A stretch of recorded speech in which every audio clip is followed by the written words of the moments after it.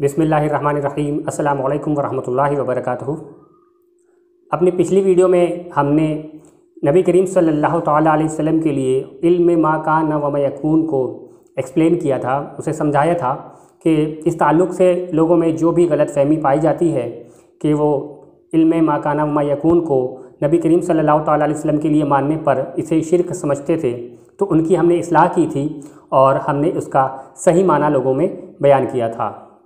तो आज की इस वीडियो में हम इन ताला नबी करीम सल्लल्लाहु अलैहि वसल्लम के लिए ूम खमसा पर दलाइल पेश करेंगे कि कुरान करीम ने पाँच ूम को ख़ास किया है कि अल्लाह ताला ने फरमाया कि इन ूम को अल्लाह ताला ही जानता है।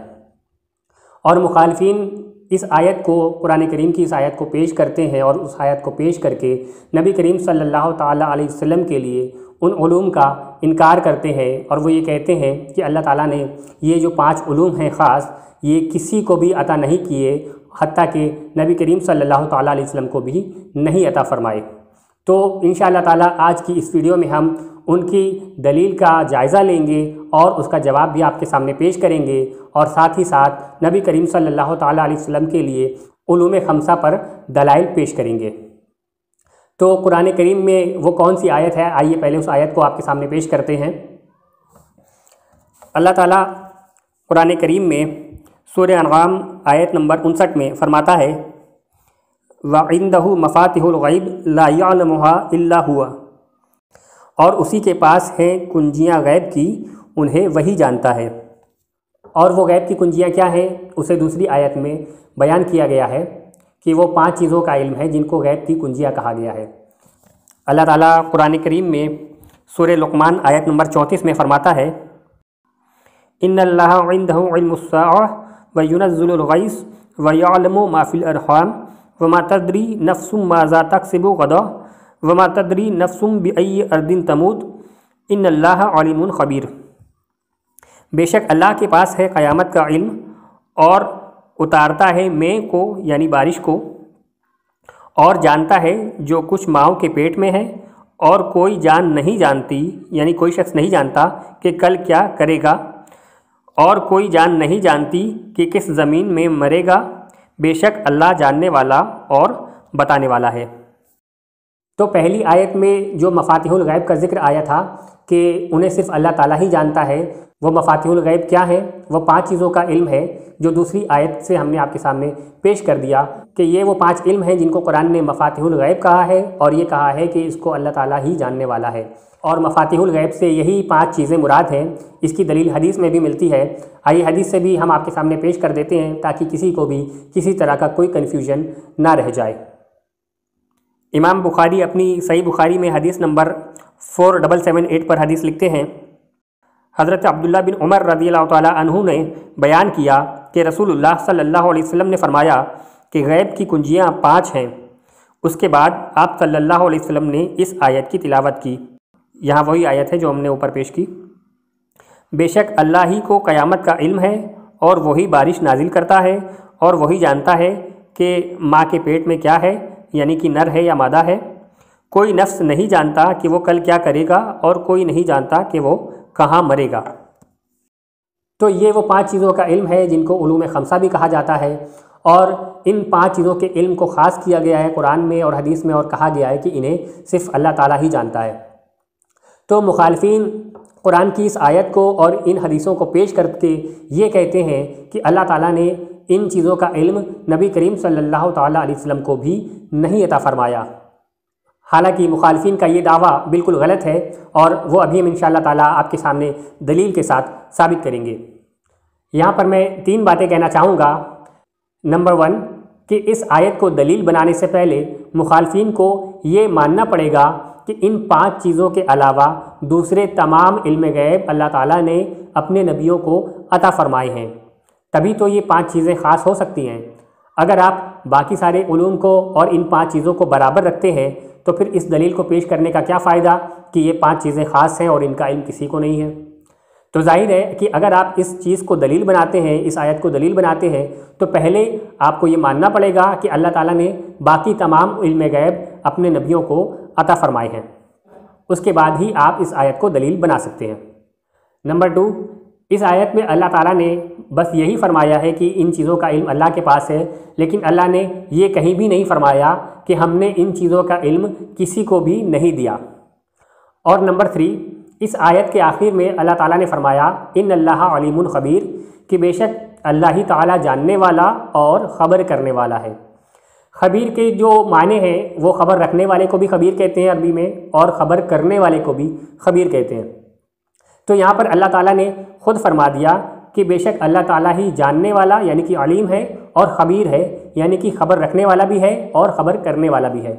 तो जब इस आयत से ही ये बात साबित हो जाती है कि अल्लाह ताला जिसको चाहे इन चीज़ों का इल्म अता फरमा सकता है, उसको ख़बर कर सकता है तो फिर ये बात नहीं रह जाती, ये एतराज़ नहीं रह जाता कि अल्लाह ताला ने किसी को इसकी खबर नहीं की और किसी को इसका इल्म नहीं अता फरमाया। तो अब इस आयत से ही ये बात साबित हो गई कि अल्लाह ताला इन चीज़ों का भी इल्म जिसको चाहता है अपने नबियों को या अपने महबूब बंदों में जिसको चाहता है अता फरमाता है। अब सवाल ये रह जाता है कि क्या वाकई अल्लाह ताला ने अपने नबी सल्लल्लाहु अलैहि वसल्लम को या अपने दूसरे बंदों को ये उलूम अता फरमाए हैं? तो आई इसका जवाब हम इन ताला आपके सामने हदीस से वन बाई वन पेश करते हैं। इसमें जो पाँच चीज़ों का ज़िक्र है, वो इस तरीके से हैं। नंबर वन, क़यामत का इल्म। नंबर टू, बारिश कब होगी? नंबर थ्री, माँ के पेट में क्या है, यानी कि लड़का है या लड़की है? और नंबर फोर, कोई इंसान कल क्या करेगा? और नंबर फाइव, कोई इंसान कहाँ पर मरेगा? ये वो पाँच चीज़ें हैं जिनको ख़ास किया गया है और मुखालफी ने दावा करते हैं कि अल्लाह ताला ने इनका इल्म किसी को भी नहीं दिया। तो आइए हम वन बाई वन इनकी दलील आपके सामने पेश करते हैं कि अल्लाह ताला ने ये इल्म भी अपने नबी सल्लल्लाहु अलैहि वसल्लम को और अपने दूसरे महबूबीन बंदों को अता फ़रमाए हैं। तो सबसे पहला पॉइंट है, क़यामत का इल्म कि क़यामत कब होगी? आइए इस पर हम आपके सामने दलील पेश करते हैं। इमाम मुस्लिम अपनी सही मुस्लिम में हदीस number seven two six three पर हदीस लिखते हैं हज़रत हुज़ैफ़ा रदी तु से रिवायत है, एक बार नबी करीम सल्लल्लाहु अलैहि वसल्लम हमारे सामने खड़े हुए और आपने अपने खड़े होने के उस वक्त से लेकर क़यामत तक होने वाली कोई भी बात ना छोड़ी, मगर उसे हमें बयान फरमा दिया। सो जिसने उसको याद रखा, उसने उसे याद रखा, और जो भूल गया, सो भूल गया। वो सब कुछ मेरे इन साथियों के इल्म में आया फिर उनमें से कोई चीज़ पेश आती है जो मैं भूल चुका होता हूँ तो जब उसे देखता हूँ तो वो मुझे याद आ जाती है। बिल्कुल उसी तरह जैसे इंसान किसी गायब हो जाने वाले शख्स का चेहरा याद रखता है, जब उसे देखता है तो पहचान लेता है। तो यहाँ पर साहबी रसूल हज़रत हुज़ैफ़ा रदी तु बयान फरमा रहे हैं कि नबी करीम सल्लल्लाहु अलैहि वसल्लम ने अपने खड़े होने से लेकर क़यामत तक सब कुछ बयान फरमा दिया। अब ज़ाहिर सी बात है कि क़यामत की कोई एक लिमिट तो होगी कि फ़ला दिन क़यामत है। और नबी करीम सल्लल्लाहु अलैहि वसल्लम के लिए जब साहब ये फरमा रहे हैं कि क़यामत तक सब कुछ बयान फरमा दिया तो यानी कि नबी करीम सल्लल्लाहु अलैहि वसल्लम को क़यामत का इल्म है कि अब इसके बाद क़यामत है। तभी आप ये दावा कर सकते हैं कि हमने क़यामत तक सब कुछ बयान कर दिया। अगर आपको ये मालूम ही ना हो कि क़यामत कब है तो फिर ये दावा सच कैसे हो सकता है कि क़यामत तक सब कुछ बयान कर दिया? बल्कि हो सकता है बहुत कुछ छूट गया हो। तो यहाँ से पता चलता है कि साहबी रसूल हज़रत हुज़ैफ़ा रदील तु का भी ये अकीदा था कि नबी करीम सल्लल्लाहु अलैहि वसल्लम को क़यामत का इल्म भी दिया गया है। इसीलिए आपने क़यामत तक होने वाली तमाम चीज़ों को, तमाम फितनों को बयान कर दिया। तो यहाँ से साबित होता है कि अल्लाह ताला ने क़यामत का इल्म भी अपने नबी सल्लल्लाहु अलैहि वसल्लम को अता फरमाया है। अब पॉइंट नंबर टू पर चलते हैं कि बारिश कब होगी। इमाम बुखारी अपनी सही बुखारी में हदीस नंबर नाइन डबल थ्री पर हदीस लिखते हैं। हज़रत अनस बिन मालिक रदी अनु से रिवायत है कि नबी करीम सल्लल्लाहु अलैहि वसल्लम के ज़माने में एक मरतबा कहत पड़ा। आप सल्लल्लाहु अलैहि वसल्लम खुतबा दे रहे थे कि एक देहाती ने आकर कहा, या रसूल अल्लाह सल्लल्लाहु अलैहि जानवर मर गए और अहलो आयाल दानों को तरस गए। आप हमारे लिए अल्लाह ताला से दुआ फरमाएँ। आप सल्लल्लाहु अलैहि ने दोनों हाथ उठाए। इस वक्त बादल का एक टुकड़ा भी आसमान पर नज़र नहीं आ रहा था। उस ज़ात की कसम जिसके हाथ में मेरी जान है।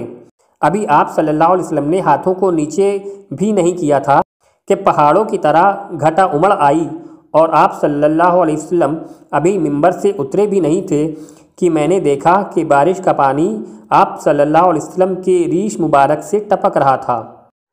यानी कि अल्लाह ताला ने अपने महबूब सल्लल्लाहु अलैहि वसल्लम को तो ऐसा इख्तियार दे दिया है कि महबूब जब चाहें, जब दुआ के लिए हाथ उठा दें तब बारिश हो जाएगी। तो जिस चीज़ का इख्तियार ही अल्लाह ने अपने महबूब को दे दिया हो कि महबूब, जब आप चाहेंगे बारिश हो जाएगी। उस चीज़ के बारे में इल्म का सवाल करना कहाँ का इंसाफ है कि हुजूर को पता ही नहीं है कि बारिश कब होगी। बारिश का तो इख्तियार ही अल्लाह ने अपने महबूब को दे दिया है कि महबूब, जब चाहेंगे तब बारिश हो जाएगी। तो फिर नबी सल्लल्लाहु अलैहि वसल्लम के लिए बारिश के इल्म का सवाल उठाना ही गलत है कि आपको बारिश का इल्म नहीं दिया गया। अब तीसरा जो पॉइंट है कि माँ के पेट में क्या है, यानी कि नर है या मादा है। आइए इस पर हम नबी करीम सल्लल्लाहु अलैहि वसल्लम से दलील क्या दें, बल्कि हम नबी करीम सल्लल्लाहु अलैहि के ग़ुलामों की दलील आपके सामने पेश करते हैं कि आका करीम सल्लल्लाहु अलैहि वसल्लम के ग़ुलाम भी ये जानते हैं, उनको भी ये इल्म दिया गया है कि माँ के पेट में क्या है, लड़का है या लड़की है। आइए हदीस सुनते हैं। इमाम मालिक, जो कि इमाम बुखारी से भी बहुत पहले के और बहुत बड़े मुहदस हैं वो अपनी किताब मुत्ता इमाम मालिक में हदीस नंबर चालीस पर लिखते हैं। उमुल उम्मुल हज़रत आयशा सिद्दीक़ा रदी तह से रिवायत है। हज़रत अबू बकर सिद्दीक रदी तु ने हज़रत आयशा को अपने पास बुलाया और विरासत के बारे में उनसे कहा कि तुम्हारे दो भाई हैं और दो बहनें हैं तो तुम उनमें कुरान के मुताबिक बांट लेना। तो हज़रत आयशा ने कहा कि अय मेरे बाप, अल्लाह की कसम अगर बड़े भाई से बड़ा माल होता तो मैं उसको छोड़ देती। लेकिन मैं हैरान हूँ, और दूसरी बहन कौन है? यानी कि उस वक्त तक हज़रत आयशा की सिर्फ़ एक ही बहन थी। तो उन्होंने सवाल किया हज़रत अबू बकर से कि हमारी तो एक ही बहन है, दूसरी बहन कौन है? तो हज़रत अबू बकर सिद्दीक रदी ने कहा, वो जो हबीबा बिनते खारजा के पेट में है, मैं देखता हूँ कि वो लड़की है। यानी कि नबी करीम सल्लल्लाहु अलैहि वसल्लम के ग़ुलाम हज़रत अबू बकर सिद्दीक रदी तु उनको भी अल्लाह ताला ने ये इल्म अता फ़रमाया था कि वो भी देख सकते थे कि माँ के पेट में क्या है, लड़का है या लड़की है। और इस हदीस को लिखने वाले बहुत बड़े मुहदस जो कि इमाम बुखारी से भी बड़े मुहदस हैं, इमाम मालिक, उन्होंने अपनी किताब में इसको दर्ज किया है। अब अगर कोई शख्स इस पर एतराज़ करे, इस हदीस की सेहत पर एतराज़ करे और कहे कि ये ज़यीफ़ है, वगैरह वगैरह तो मैं बता दूँ कि मुखालफी के जो शेखुल इस्लाम हैं, ख़ुद उनके शेखुल इस्लाम इब्न तैमिया ने भी इस रिवायत का ज़िक्र और इससे इस्तलाल किया है अपनी किताब मजमू फ़तावा इब्न तैमिया में, जल्द नंबर 11 सफ़ा नंबर 318 पर। यानी मुखालफी के जो शेखुल इस्लाम हैं, वो भी इस हदीस को सही मानते हैं, इसलिए मुखालफी के पास अब एतराज़ करने की कोई गुंजाइश नहीं बची। तो जब ये इल्म नबी करीम सल्लल्लाहु अलैहि वसल्लम के ग़ुलामों के लिए साबित है तो फिर आप अंदाज़ा करें कि आका करीम सल्लल्लाहु अलैहि वसल्लम के इल्म का क्या मामला होगा। अब चौथा जो पॉइंट है कि कोई शख्स नहीं जानता कल क्या करेगा तो आइए इस पर भी आपके सामने दलील पेश करता हूँ। इमाम बुखारी अपनी सही बुखारी में हदीस नंबर थ्री सेवन फोर सिक्स पर हदीस लिखते हैं, नबी करीम सल्लल्लाहु अलैहि वसल्लम ने हज़रत इमाम हसन के ताल्लुक़ से फ़रमाया, मेरा ये बेटा सरदार है और मुझे उम्मीद है कि अल्लाह ताला इसके ज़रिए मुसलमानों के दो अजीम गिरोह में सुलह कराएगा। यानी कि यहाँ पर भी नबी करीम सल्लल्लाहु अलैहि वसल्लम ने बता दिया कि इमाम हसन आगे चल के, क्या करेंगे? वो मुसलमानों के दो बड़े गिरोहों में सुलह करवाएँगे। और वो दो बड़े गिरोह कौन से थे? जब हज़रत अली रदी तु और हज़रत अमीर मुआविया रदी अनु के दरमियान लड़ाई हुई तो बाद में इनके गिरोहों के दरमियान सुलह करवाया था। इमाम हसन रदी तु ने इस तरीके से ये जो हदीस है, इसकी पेशन गोई वहाँ पर सादिक आई। तो नबी करीम सल्लल्लाहु अलैहि वसल्लम जानते थे कि इमाम हसन आगे क्या करेंगे। इस तरीके से बेशुमार वाक़ात हैं कि नबी करीम सल्लल्लाहु अलैहि वसल्लम ने आने वाले कल की खबर दी है कि कौन क्या करेगा। तो यहाँ से भी ये बात साबित होती है कि अल्लाह ताला ने ये इल्म भी अपने महबूब सल्लल्लाहु अलैहि वसल्लम को अता फरमाया था कि कल कौन क्या करेगा। अब पांचवा पॉइंट रह जाता है, यानी कि कौन कहाँ पर मरेगा। तो आइए इसकी भी दलील सुनते हैं। हज़रत अनस बिन मालिक रदी तु से रिवायत है कि नबी करीम सल्लल्लाहु अलैहि ने एक दफ़ा अहले बद्र का वाक़ बयान करना शुरू कर दिया।